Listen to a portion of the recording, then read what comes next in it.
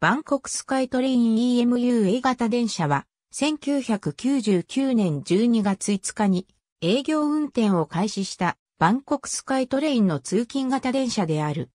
BTS の開業に伴い1999年に3両編成35本が導入され、さらに2012年11月から2013年3月には4両編成化するために中間車が新造された。シーメンスのモジュラーメトロを採用している。バンコクメトロのブルーラインは後に BTS との接続を可能にするために基本設計は本車両と共通である。デザインはポルシェデザインが担当した。車体はステンレス構成だが全塗装されている。塗色には大国旗を彷彿とさせる白、赤、青が使われている。内装車内は白を基調としている。座席はオレンジ色のオールロングシートで、雨天時で濡れた客が座った後に拭きやすいよう、繊維強化プラスチックを使用している。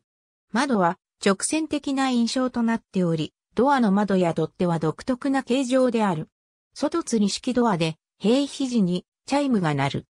扉間には液晶ディスプレイが設置されており、画面の上部で CM が音声付きで放映され、最下部で自液、または現在停車中の駅を表示している。釣り革はベルトで、スタンションポールも備え付けられている。制御装置は2レベルイグブと VVVF インバータ制御である。